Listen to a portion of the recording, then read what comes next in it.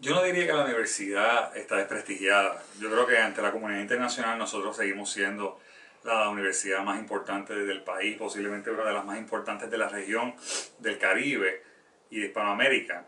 Pero sí, ante, ante la población de Puerto Rico hemos perdido prestigio en los últimos años por diversas razones. A mí me parece que principalmente porque la universidad eh, se ha dormido en sus laureles y ha esperado que los estudiantes lleguen, particularmente los estudiantes de escuela pública, que son mi principal eh, preocupación.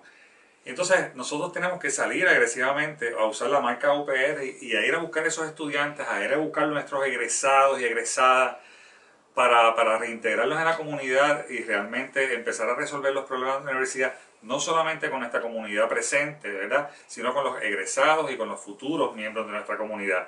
Así que hay que establecer un plan de divulgación. Nosotros hacemos maravillas en esta universidad.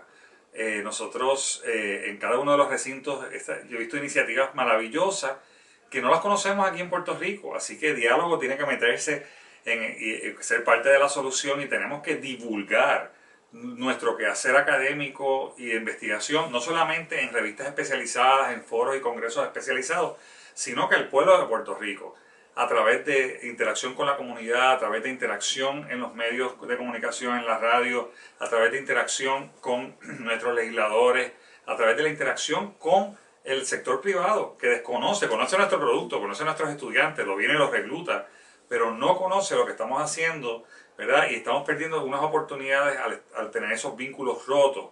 Estamos muy aislados de Puerto Rico. Internacionalmente nosotros tenemos un prestigio muy grande y tenemos que seguir afianzándolo, pues, este, contratando profesores de calibre mundial, llevando a nuestros profesores a congresos mundiales y que siguen haciendo lo que todos llevamos tantos años haciendo también. Hay que hacer muchas cosas. Eh, número uno, en primer lugar, hemos tenido una merma de, estudiantes. Por ejemplo, en el recinto de Río Piedra, aquí caben fácil 21.000, 22.000 estudiantes. Tenemos 14 a 15.000 estudiantes. Tenemos que ir a las escuelas públicas y buscar los estudiantes que pueden entrar al sistema OPR. No invitarlos, ir a buscarlos agresivamente, enviar gente, cuerpos calientes, estudiantes orientadores. Y eso no lo estamos haciendo. Eso a corto plazo llena, ¿verdad? Nuestra, o sea, en vez de subir una, la matrícula, pues vamos y buscamos estudiantes y recibimos los fondos federales correspondientes a esos nuevos estudiantes. Y le estamos asegurando a esos estudiantes que en, que en un porcentaje mucho más alto que las universidades privadas los vamos a graduar. Número dos, hay que estudiar el tema, hay que, el fondo total de la Universidad de Puerto Rico, que está en ochenta y pico de millones de dólares, hay que agresivamente hacer una campaña capital. Harvard University acaba de lanzar una campaña capital de 7 billones de dólares. Nosotros, pues yo, yo propongo inmediatamente lanzar una campaña para llegar a 250 millones en los próximos 6 años. ¿Cómo lo vamos a hacer? Pues haciendo una campaña profesional a nivel mundial, buscando nuestros egresados, que yo estimo que son entre 300 y 500 mil egresados puertorriqueños dispersos por el mundo entero, pues, y saber dónde están, integrarlos a la universidad, porque esa es la forma, ¿verdad? Esto es un proceso de planificación a largo plazo. Tercero, prácticas externas. Nosotros tenemos que vender nuestros servicios tanto al gobierno como al sector privado para generar ingresos adicionales. Cuarto, eh, el tema de, hay que tocar el tema de, la matrícula de los estudiantes. No podemos seguir con un sistema uniforme de matrícula. Aquí en la Escuela de Derecho hay estudiantes que vienen en Mercedes-Benz. Así que yo, esos estudiantes podrían pagar 20 mil dólares de matrícula al año y están pagando 3 mil hay estudiantes que pagarán cero y algunos estudiantes pagarán de acuerdo a lo que ellos a que los padres puedan aportar. Esa es lo justo, ¿verdad? No vivimos en un país uniformemente pobre o uniformemente rico. Así que yo creo que hay que diferenciar, pero para hacer eso tenemos que implantar los sistemas contables que son del siglo XX. Realmente estamos en un sistema contable que no sirve, que podamos diferenciar entre los estudiantes que tienen mayores recursos y menos recursos. Porque sí es Habrá estudiantes que pagarán cero, como te dije, pero habrá estudiantes que podrán pagar un por ciento. El país invierte por estudiante entre 25 y 30 mil dólares. Eso es lo que nos da el país a través de la fórmula de 9.6 y las asignaciones especiales. Así que me parece a mí que ¿por qué estamos subsidiando a razón de 25 mil dólares estudiantes de derecho que pueden pagarse su matrícula? Y van a venir a la Universidad de Puerto Rico porque es la mejor escuela de derecho en Puerto Rico. Eso es un tema difícil, yo lo he hablado con los estudiantes, yo creo que los, ahí, los estudiantes lo entienden Y es cuestión de, de plantearnos, hay que hablarlo con la hermandad porque hay que cambiar los sistemas para poder hacerlo. entre otras cosas, hay que mirar todos esos elementos.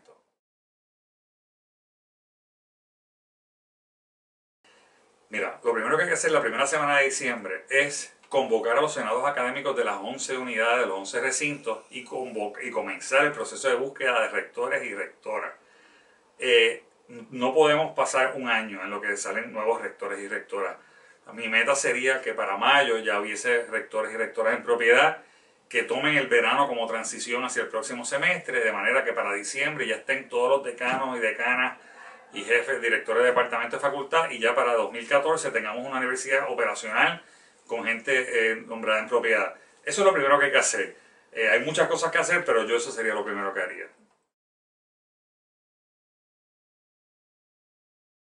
Bueno, el, el, tema del sistema de retiro es complejo, ¿verdad?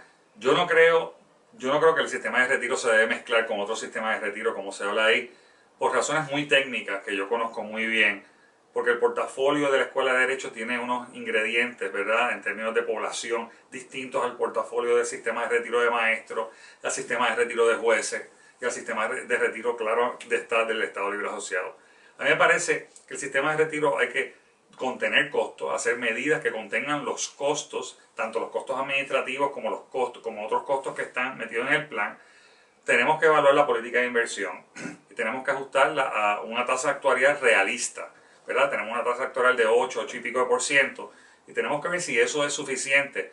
Ya aumentamos la aportación patronal, me parece que hay que, que hay que establecer, hay que, eh, hay que tener sangre nueva. Los sistemas de retiro de, de, beneficios definidos como el que nosotros tenemos, tenemos que llenar plaza. Eso todo el mundo te lo dice, pero eso no es tan fácil hacerlo, porque no podemos llenar plaza docentes y no docentes simplemente porque las plazas existían. Yo creo que el plan de del plan de clasificación y retribución de los, de los compañeros no docentes data de 1977.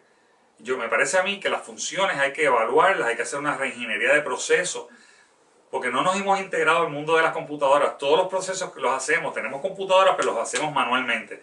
Una vez hagamos esa reingeniería, que es algo que se puede hacer en un año, año y medio, entonces tenemos que decir, pues necesitamos, en vez de tantos mecánicos o tantos plomeros, pues necesitamos, digamos, técnicos de energía solar. Entonces es una, es una clasificación nueva y esa clasificación entonces tenemos que ir a reclutar plazas de gente joven que aporte 30 años al sistema para entonces poder mantener ¿verdad? los que salen ¿verdad? Eh, como, el, como el seguro social.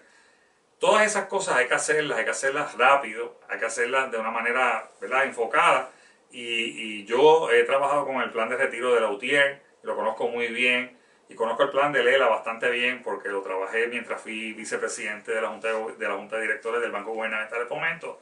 Así que me parece que tengo la experiencia y entiendo el problema, la complejidad financiera para poder atacar este problema.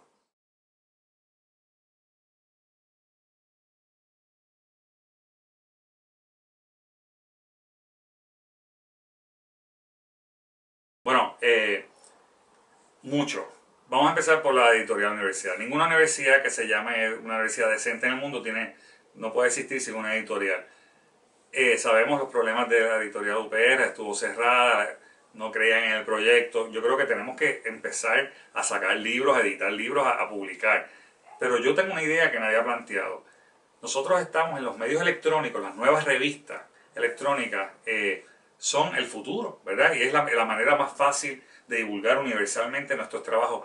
Nosotros tenemos la revista Puerto Rico Business Law Journal, la Escuela de Derecho, estamos creando un blog nuevo de Derecho Internacional que se llama Pangea, que acaban de formar los estudiantes. ¿Por qué la Editorial Universidad de Puerto Rico no le ofrece el servicio de web hosting a todas las revistas que se generen? En vez de tú tener que comprar en GoDaddy un, un, un domain y después se abandone porque los estudiantes se gradúan y muere y se convierte en un dead link, ¿por qué no nos convertimos en un repositorio? La editorial y que cada uno tenga su libertad editorial y ellos publiquen las revistas, pero que sea un servicio que provee la editorial UPR a través de la, de la presidencia para todas las revistas electrónicas que se hacen en Puerto Rico. Eso es uno. Radio Universidad, tenemos que continuar siendo el baluarte de la radio, de la radio pública en Puerto Rico. Yo creo que hay que comenzar a, a pensar en formar, como ha planteado algunos de mis compañeros, que es una gran idea, hacer un canal de televisión, un canal de televisión de la UPR que tal vez no sea por ondas, por ondas electromagnéticas, pero sea un canal a través de, de la red cibernética. Que eso yo creo que esa transición la podemos hacer hoy día y no hay por qué no hacerla. En cuanto a diálogo, yo quiero hacer lo que recibo, el diálogo digital que recibo todas las mañanas en Twitter. Yo quiero hacer, este eh, diálogo digital es lo que llaman en Harvard el Harvard Gazette.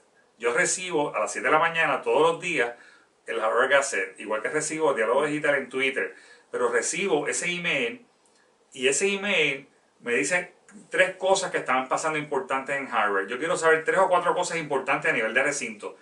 Tiene que haber una cosa que es más noticiosa de recinto, de promoción, y una cosa que ustedes hacen que es más análisis crítico, ¿verdad? Eh, en su, en su periodismo.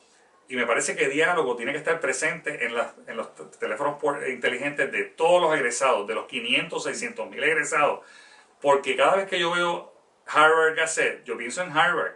Y una vez Harvard me manda una, a pedir una donación de 100 dólares, yo le mando los 100 dólares a Harvard. De la misma manera que si yo veo UPR Informa o Diálogo Digital en español y en inglés, porque también lo queremos divulgar por el mundo entero, saber qué es lo que estamos haciendo. Me parece que es una manera de nosotros crear, llegar fondos adicionales, divulgando lo que hacemos bien en la universidad. Así que me parece que esas son dos ideas eh, noveles, ¿verdad? Algo que se me ocurre que se puede hacer y que son fáciles de implantar y no requieren cambios filosóficos en el problema de, en, la, formación del periódico Diálogo. Así que hay mucho que hacer. Hay que ser innovador. Innovador es hacer más con menos. No vamos a contar con grandes recursos en el futuro. Y nosotros tenemos que hacer una lista de prioridades de todo lo que podemos hacer que cueste cero, todo lo que podamos hacer que cueste uno, todo lo que podamos hacer que cueste dos y empezar a hacer las primeras 10 cosas de cada una de esas categorías. No es, no es que solamente vamos a hacer lo que nos cuesta. Y de esa manera planificarnos y elevar esta universidad, como me preguntaste al principio, al sitial que sabemos que está, los que estamos adentro, pero que nuestros compatriotas no lo saben, y continuar siendo un baluarte a nivel internacional como lo hemos sido en los últimos 100 años.